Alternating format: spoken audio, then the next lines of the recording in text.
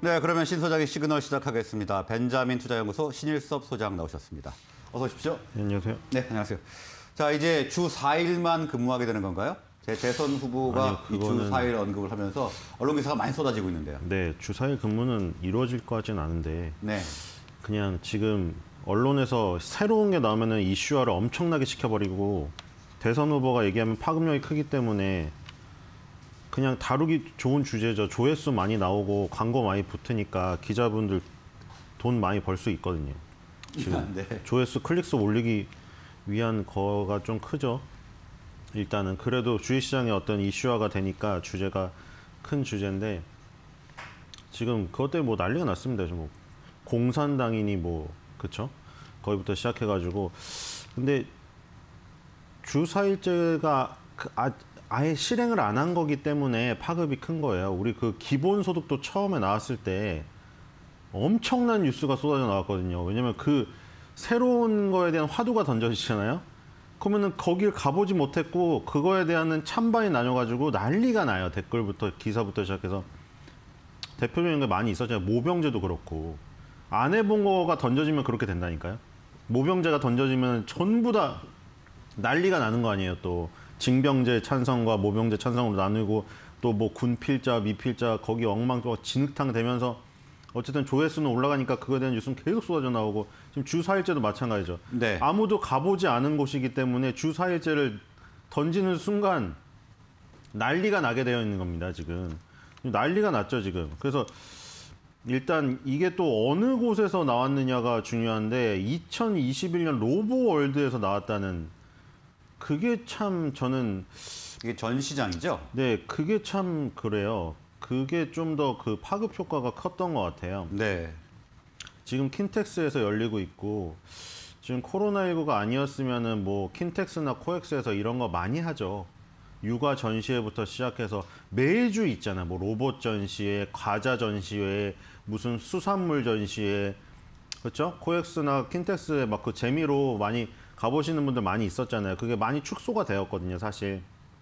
예, 지금 로보월드는 킨텍스에서 지금 열리고 있고 그리고 30일까지 열리나요? 지금 27일부터 27일부터 30일 27일부터 30일인가? 하여튼 지금 4일 정도 열리는데 예. 여기에 지금 다 어, 중요한 인사들이 그 참관을 하고 있죠. 일단 이재명 더불어민주당 대선 후보가 27일 날한 언론 인터뷰에서 주 4일제 공약 검토 가능성이 있다. 이, 이 뉴스가 나왔어요. 그래서 28일 오전에 2021년 로보월드 전시장을 방문했는데 당연히 기자분이 또 질문을 했겠죠. 어제 그 인터뷰의 맥락이 뭐냐고. 그래서 이게 어 일단은 후퇴했습니다. 당장 이번 대선 공약으로 내세우기에는 이르다. 당연하죠. 이거를 공약으로 했을 때는 너무나 커다란 파급이 있기 때문에. 네. 여기에 에브리봇 그리고 트위니 참가 업체를 보니까 많이 있습니다. 그 에브리봇, 트위니, 티 로보틱스, 로보스타, 레인, 레인보우 로보틱스 상장사도 지금 많이 있네요. 그래서 여기 들어가 보시면 다 나와 있는데 이 부스가 비싸요. 이 부스를 하나 사는데 수십만 원이어서 웬만한 그 돈이 없는 작은 회사들은 들어가기 힘들거든요. 지금 보니까 아 역시 돈 많은 회사들이 부스 크기가 크네요. 아, 그런가요? 예, 예, 이 부스가 그 크기에 따라서 돈이 돈이 비싸 이게 틀려요. 예. 크기가 커질수록 돈이 비싸지거든요. 그래서 여기 보면은 고등학생들은 정말 제일 작은 거를 그 고등학생들도 로봇 고등학교도 있고 뭐 세경 고등학교 같이 로봇 쪽을 하는 이 고등학교들 있거든요. 경찰대학교도 있고 이런 회사들 대학교들은 작아요. 그리고 뭐 에- 한양대학교 에리카 캠퍼스 이런 거 좀 큰 데는 대학교 캠퍼스인데도 좀 크고 그리고 아까 말한 이 업체들은 제일 커요. 지금 로보스타, 레인보우 로보틱스, 티 로보틱스, 트위니 제가 말했던 이 업체들 있죠? 에브리봇 얘네들은 보면은 자리도 제일 좋은 자리예요, 여기. 자리도 제일 좋은 자리고 제일 커요. 무대 그 크기가 크기가 큽니다. 네. 여기 진하게 이제 나왔죠.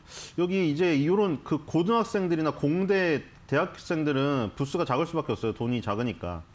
근데 여기 지금 상장 회사들은 엄청 커요. T 로보틱스, 로보스타, 레인보 로보틱스, 트윈이 그리고 제일 좋은 자리에 네. 이렇게 돼 있어요. 여기서 이제 하는데 그래서 당장 이번 대선 공약으로 내세우기는 이르다고 했는데 문제는 이게 왜 여기서 나온 게 더 파급효과가 클까? 자 로봇을 만지면서 로봇을 이제 만지고 그 현장인데 주사일제 얘기를 했어요. 자 주사일제가. 되면 네. 그렇죠. 주사일제가 되면은 그 당장 만약에 이게 되지는 않겠지만 주사일제가 차차 뭐 언젠가 된다고 하면은 대신 일이 저- 줄어들진 않을 거예요. 그러니까 사람이 하는 일은 줄어드는데 해야 되는 일주일 동안 처리해야 되는 일은 남아 있잖아요. 누군가 해야 되는데 누가 할 거냐고 이거죠. 네. 로봇이 하겠죠. 그러니까 이게 로봇의 현장에 가 있는데 로봇 전시회 현장에 가 있는데 주사일제가 들어오니까 어, 주사일제와 로봇 이거는 약간 로봇이 도와주면 네. 가능한 것이다. 그러니까 이런 생각이 들었어요. 그래서 이 로봇 관련주가 어, 움직일 수가 있겠다. 그러니까 이게 지금 이제 한쪽 진영의 대선 후보만 이제 나오면 이제 진영 그 그게 갖춰지는 거잖아요. 지금 대결 구도가. 네. 그러면 이 로봇 산업도 나올 안 나올 수가 없을 거고 이 주사일제를 어쨌든 던졌잖아요. 뭐 지금 많잖아. 모병제, 기본소득, 이 그 저기 주사일제? 이런 게 던졌잖아요. 던지면 상대방 진영에서 어떻게 그 반대되는 진영은 무조건 그걸 공격할 수밖에 없어요. 그럼 그걸 공격하면 또 이슈화가 돼. 그러니까 주사일제는 이대로 죽을 이슈가 아니다. 상대방 진영에서 이거 분명히 태클 걸고 나오기 때문에 계속 이슈화가 되는데 여기에 같이 얽혀가지고 로봇 산업이 나올 수밖에 없다. 주 4일이 되면은 주 3일을 일해야 되는 사람이 없어져 버리니까 로봇이 일을 해야 되기 때문에 로봇 산업에 대한 얘기도 또 나올 수밖에 없고 로봇 산업에 대한 정책이 나올 수밖에 없다. 역시 로보월드가 30일까지 열리는데 이걸 보면서 우리는 어, 로봇 관련주를 봐야겠다 이런 생각이 강하게 들었습니다. 예, 그러면서 이제 로봇 산업의 초점이 지금 어, 좀 맞춰지고 있는데 지금 로봇 산업 상황은 어떻습니까? 네, 뭐 로봇 산업이 뭐 아주 크게 태동하진 않았죠. 예. 지금 우리나라 같은 경우에 현대자동차가 그 회사를 인수했잖아요. 로봇 회사를 그 회사 그 보셨어요? 유튜브에서 그런 거? 음, 못 봤습니다. 아, 그저 정말 대단하긴 하더라고요. 그 막 로봇이 로봇이 균형을 막 잘 못 우리 로봇 축구 보면은 균형 잘 못 잡고 막 자빠지고 막 사이로 가랭이 사이로 공 흘리고 이러잖아요. 네. 그 회사에서 만든 그 보스턴 다이나믹스인가요? 그 회사에서 만든 로봇은 일어나요. 사람이 발로 차잖아요, 무릎을. 그러면 지가 관절 관절 용수철로 튀어서 일어나 버려. 요 그리고 전 전장에서 싸우는데 전장에서 싸우는데 개예요, 개. 근데 개가 정말 정말 거짓말 안 하고 그 무슨 정말 무서운 불독 불독이 실제로 불독이 벌크업해서 이만해진 불독이 움직이는 것 같아요. 정말 그러니까 자연스러워요. 네. 우리가 예, 어렸을 때 보던 막 로봇 전시회나 막 그런 거 있잖아요. 그 보면은 정말 어색하잖아요. 관절이 막 뚝뚝뚝 끊어지는 느낌이 들잖아요. 그런 느낌이 전혀 없더라고요. 그래서 저는 저는 그래서 깜짝 놀랐어요. 현대자 현대자동차 정의선 회장이 왜 저 회사를 인수했을까? 전 정- 처음에 의아했는데 와 저거 인수하기 정말 잘했다. 저런 기술력이 있는 회사를 인수하다니. 그래서 현대자동차가 로봇 그에 관심이 저렇게 많, 많았네 하면서 현대자동차가 로봇 회사를 인수했고 그리고 그 전에 LG전자가 로보스타를 인수했잖아요. 그러니까 현대차라는 그룹 그리고 LG라는 그룹 그래서 둘 다 이제 로봇에 대한 것을 놓치지 않았, 않고 지금 미래를 준비하는 걸 보니까 어, 로봇 산업이 예전에 우리가 생각했던 학생들이 막 만들어가지고 어, 박람회 전시했는데 막 되게 엉- 좀 엉성하고 이런 그 수준을 이제 넘어서고 있는 게 아닌가 그런 생각이 들고 한 하나 둘씩 상장도 이루어지고 있잖아요. 지금 T 로보틱스라는 업체가 18년도 11월 달에 상장했고 아까 부스도 컸죠. 예. 그리고 또 레인보우 로보틱스도 상장했죠. 2021년도 올해 상장했습니다. 그러니까 이게 18년도, 21년도 지금 이제 2000 거의 20년도 들어서 그, 그 전후로 해가지고 새로운 로봇 회사들이 이렇게 상장을 하고 그렇죠? 그 상장을 해서 주식시장에서 지금 평가를 받고 있고 공모 자금을 끌어당겨서 자기의 또 연구 개발에 쓰고 있고 이런 것들 이런 것들이 로봇 산업이 크고 있다는 증빙이죠. 현대자동차가 인수를 했고 기- LG전자는 로봇스타를 예전부터 인수를 했었고 로봇 회사들이 새롭게 들어와서 로봇 테마라는 것이 점점 덩치가 커지고 있고 그러니까 이제 로봇 산업도 우주 산업과 함께 우주 항공 산업과 함께 어떤 미래를 짊어질 어떤 산업이 돼가고 있다 이런 생각이 듭니다. 예. 방금 전에 LG에서 인수한 로보스타 이야기를 좀 해주셨는데 어, 최근에 실적이 흑자로 전환이 된 것 같더라고요. 분석을 좀 해주시죠. 네. 최근에 실적이 흑자로 전환했나요? 볼까요? 뭐 큰 금액은 아니고 8천만 원 정도 되는 어, 흑자 전환을 했다고 뭐 기사를 제가 본 것 같습니다. 아, 아직까지는 좀 마이너스가 나고 있네 일단은.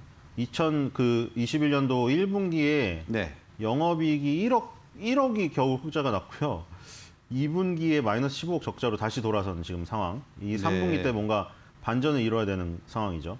2019년과 2020년 연속으로 영업이익 적자가 지금 누적이 돼가지고 지금 로보스타가 좀 LG가 그래서 LG전자가 이거 왜 이렇게 내버려 둔 거 아니냐 이런 얘기가 나오고 있어요 지금 99년에 설립됐고 2018년에 LG전자 인수가 됐는데 2018년에 LG전자가 인수한 이후에 실적이 영업이익 적자가 계속 악화되고 있어서 예. 매출액도 쭉쭉쭉 떨어졌거든요. 2018 18년도에 1,900억이었는데 1,700억, 1,300억으로 축 매, 매출 규모가 덩치가 짜가지고 영업이익은 22억 흑자였는데 마이너스 120억 적자까지 나왔어요. 그래서 아, LG전자 왜 이렇게 로봇스타 해놓고 왜 이렇게 안 하지? 지금 이러고 있어요. 그래서 국내 대표하는 산업용 로봇 전문 기업이고 그 유진 로봇 같은 경우에는 저 로봇 청소기 만들잖아요. 네. 가정용 이런 거고 로보스타는 저 산업용 로봇 그 산업 그 공장에서 일하는 로봇들 이런 거 만드는 업체예요. 그래서 단축 로봇부터 다관절 로봇 그래서 산업용 로봇 풀 라인업을 보유하고 있고 이런 게 이제 산업 현장에서 재해들이 많이 일어, 일어나잖아요. 괜히 그 손으로 막 조립하다가 손가락 막 잘리고 이런 거. 근데 로봇이 거기 들어가면 이제 로봇은 뭐 로봇도 아픔을 느낀다면 모르겠지만 로봇이 부러지면 어쨌든 사람처럼 손가락이 부러지거나 이러지 않기 때문에 꼭 필요하게 되, 고 있거든요. 예. 그러니까 주 4일제가 되고 막 이래서 할 일이 할, 할 일할 사람이 없어서 로봇이 들어오는 것도 있는데 지금 같은 경우에도 일할 사람은 있지만 위험성을 덜어주기 위해서 또 지금도 필요하거든요. 그리고 반도체 디스플레이용 transfer 로봇 이거 만들고 무인 운반차 자율 이동 로봇. 그러니까 지금 LG전자가 하고 있는 주력 사업이 지금 폰 사업은 철수 철수를 했지만 나머지가 디스플레이도 있고 가전 세탁기나 뭐 뭐 그 스타일러 이런 거 다 만들어야 되고 그리고 지금 이제 마그나랑 손을 잡고 이제 그 전장 사업, 자동차 전자장비 쪽도 지금 손을 대고 있잖아요. 그러니까 산업용 로봇이 쓰일 부분이 지금 LG 그룹이 많아지고 있어요. 예. 그렇죠? 그리고 이제 폰 사업을 접었기 때문에 로봇 쪽에 조금 더 염 그 몰두하지 않겠냐 이런 기대감도 있고. 그러니까 폰 사업을 접었으니까 이제 로봇스타 같은 거 이렇게 버려두지 말고 빨리 어? 정상적으로 만들어라 이런 압박도 나올 거고. 네. 로봇스타는 반드시 LG가 해줘야 돼요. 왜냐하면 지난해 LG향 매출이 47.5%까지 올라왔거든요.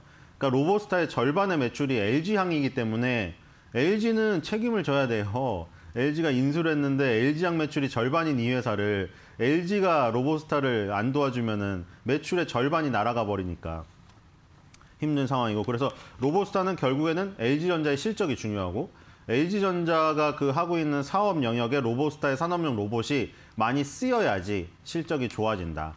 이 구조로 나가고 있습니다. 예. 자, 그러면 LG전자 이야기로 좀 넘어가 볼까요?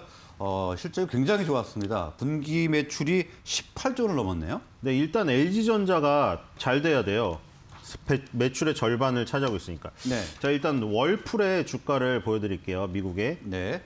월풀의 주가가 사상 최고가를 갔습니다. 지금. 자, 월풀을 왜 보여드리냐면은 월풀하고 LG전자의 가전업체하고 세계 1, 2위를 다투고 있는데 지금 이번 연도 1, 2, 3분기까지 나왔는데 월풀을 이겼습니다. 그래서 4분기에 월풀이 미친 실적을 나오지 않으면 드디어 사상 최초로 LG전자 가전이 세계 1위가 돼요, 지금. 예. 사실 언제적 월풀이냐 할 수도 있는데 왜냐면 저도 어렸을 때는 월풀 세탁기가 있었거든요. 그 시절에 미제가 좋았어요. 그 시절에. 네. 근데 아, 그 뒤로 안 쓰거든요. LG LG 트롬 쓰고 삼성 그거 쓰지. 근데 월풀이 전 세계적으로는 이렇게 많이 쓰이고 있나 봐요. 북미나 유럽에서. 그래서 월풀이 아직도 1위였는데 드디어 지금 꺾을 기회가 왔다. 지금 LG전자가 사상 최초 분기 매출 18조 원 나왔잖아요. 근데 18조 원 나온 게 대부분 누가 hard carry를 했냐면 생활 가전하고 그리고 이 이쪽 홈 엔터테인먼트 TV 쪽. 네. 요거 두 개가 hard carry한 거예요. 제일 하드 캐리한 거는 생활 가전인데 생활 가전 요즘에 LG전자 호평 많이 받고 있죠. 저도 저도 사실 너무 좋아요. 왜냐면 폰을 접어서 좋아요. 감사드려요. 폰을 아, 드디어 접어서 감사까지입니까? 너무 감사드려요. 네. 네. 진작에 접었어야 되는데. 그쵸? 잘 되잖아요, 지금. 그거 접고 나니까 보세요. 스탠바이미. 얼마나 호평받아. 스탠바이미 그런 거 어떻게 개발했냐고. 박수 친다고 막 이러고. 그리고 오브제 지금 너무 잘 팔렸잖아요. 그 비스포크 물론 비스포크 포크가 먼저 히트를 치고 오브제가 나왔다. 뭐 me too 이런 이런 사람도 있는데 삼성, LG 결국 다 마찬가지 아니에요? 스타일러 스타일러는 LG가 먼저 만들고 삼성이 그 다음 나온 거고 세탁기 뭐 건조기 가지고도 맨날 서로 분쟁하고 이러는데 결국 삼성하고 LG하고 하나는 앞서고 하나는 두고 있는 거예요. 식품업계에서 그거랑 똑같아요. 롯데랑 저기 롯데랑 오리온 있죠. 초코파이에서는 이쪽이 먼저고 이쪽이 먼저고 어? 자일리톨에서는 이쪽이 먼저고 이쪽이 먼저잖아요. 그렇잖아요. 근데 삼성, LG 그런데 지금 LG전자는 오브제가 그 약간 무광으로 나오고 비- 네. 비스포크는 유광으로 나와요. 근데 어쨌든 비스포크든 오브제든 지금 완전히 그 물결을 심어버렸어요. 지금 전부 냉장고를 다 비스포크랑 오브제로 하고 있어요. 신혼 부부들이 전부 다. 옛날에 무슨 다 은색, 검은색, 회색 여기서 완전 벗어나서 색깔로 들어가 버려요. 그래서 오브제를 네, 지금 컬러가 많이 되게 다양한 예, 것 컬러가 같더라고요. 되게 다양하고 자기가 DIY를 할 수 있기 때문에 이게 완전히 어, 히트가 됐어요. MZ 세대한테 이게 완전 히트가 돼서 지금 신혼부부집 가면은 다 화려해요. 옛날엔 다 스테인리스 누가 그 빛나는 거 은색, 회색, 거- 검정색 세 개 중에 하나였거든요. 근데 요즘에는 다 알록달록이에요. 그래서 그리 그 오브제 컬렉션이 히트를 쳤고 그리고 건조기 스타일러 식기세척기 있죠. 이 3종 신, 신 이게 잘 팔렸어요. 신가전. 이게 원래 처음에 건조기부터 시작된 거거든요. 건조기를 맛보고 나서 주부님들이 신세계를 맛봤다고 했어. 근데 이제 또 스타일러를 맛보고 나니까 야 이거 대박이다. 남편 옷 저기 그거다. 네. 그 다음에 식기세척기가 다시 또 부활을 해버렸죠. 이게 식기세척기 원래 10년 전에 한번 뜨려고 막 그 외국 제품도 많이 나고 했는데 안 됐어요. 약간 시기상조였어요. 근데 지금 식기세척기가 폭발을 해버렸어요. 다시. 그래서 뭐 비스포크도 식기세척기 나오고 한국인의 뭐 고추장 묻은 거는 한국의 식기세척기로 해야 된다 해서 식기세척기 이게 그 건조기 스타일러 식기세척기 이 3종 신가전이 완전 새로운 세계를 창출을 해버렸어요. 그래서 이게 생활가전이 대박이 나버려가지고 예. 지금 생활가전 매출액이 올해 상반기에 미국 월풀이 아까 1조 6천억 원가량 리드를 하고 있었는데 3분기에 6천억 원을 더 벌렸어요, 지금. 그래서 지금 월풀하고 차이가 2조 2천억이 났어요, 지금. 네. 그러니까 이 월풀이 4분기에 LG가 생활가전을 이기려면은 2조 2조 5천억 원 이상을 해버려야 돼요. 근데 이게 어리 지금 상당히 말이 안 되는 수치거든요. 그래서 생활가전 업계 통합 연간 매출 1위를 눈앞에 두고 있다. 그 정도로 생활가전이 지금 잘 된다. LG는 그리고 TV 쪽도 지금 잘 되죠. 지금 보면은 어떤 경쟁이냐면 솔직히 저는 모르게 이제 저는 눈이 사람의 눈이 더 이상 구별을 못 하겠어요. 저는. 네. 아무 TV가 TV가 정말 좋다고 하는데 글쎄요. 저 저는 모르겠는데 이제 계속 그 경쟁을 하고 있는데 이 올레드죠. OLED인데 LG는 올레드라고 불려. 요 자기 상품명이라고. 근데 삼성은 지금 뭐 하고 있냐면 그 퀀텀 닷, 퀀텀 닷, 퀀텀 닷이라고 하고 있는데 저는 솔직히 차이를 모르겠는데 일단 그 LG의 올레드 그리고 TV가 점점 대형화되고 있어요. 왜냐하면 코로나19 시대에 뭐 집에서 넷플릭스랑 뭐 디즈니 플러스나 이런 거 봐, 봐야 되는데 영화관 극장처럼 본다고 해서 100인치 이상짜리가 잘 팔려요. 그래서 100인치 이상짜리 그리고 LG 올레드 이게 또 대박이 났어요. 그래서 TV가 포함된 홈 엔터테인먼트 사업부 HE라고 줄여서 부르죠.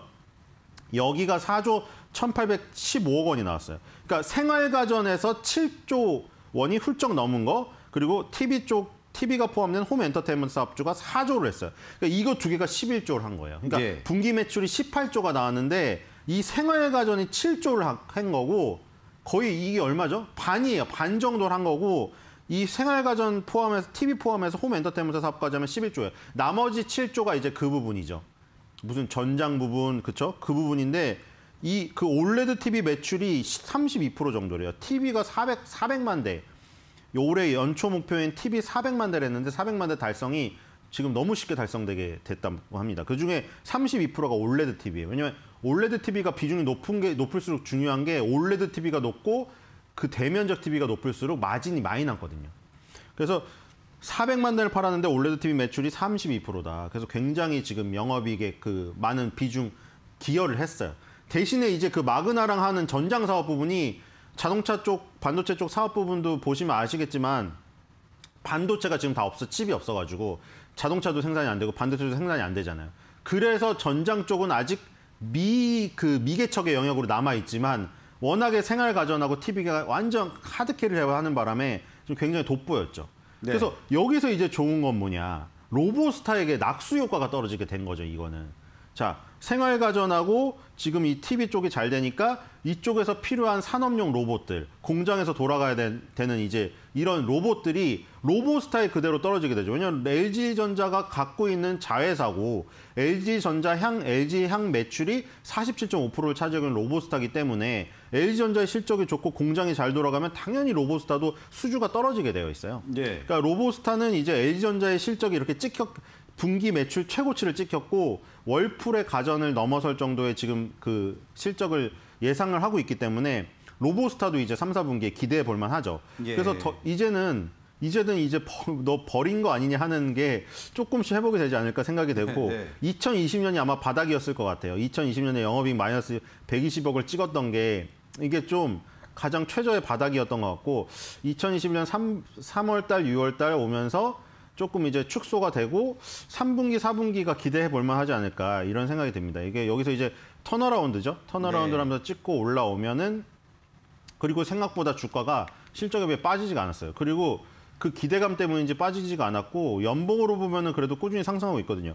그래서 쭉 봤는데 로보 월드가 열리는 현장에서 주 4일째 이슈가 터졌고 그게 지금 당장 다가오지 않더라도 대선판에서 계속 얘기가 나올 거고 그러면 만약에 인간이 일을 못했을 때 누가 할 거냐 로봇이 하겠다. 로봇 산업에 대한 정책들도 서로 VS가 나올 거고 그럼 이제 가장 대표적인 업체 로보스타 얘기가 안 나올 수가 없는데 LG전자는 실적을 계속 최고치를 경신하고 있다.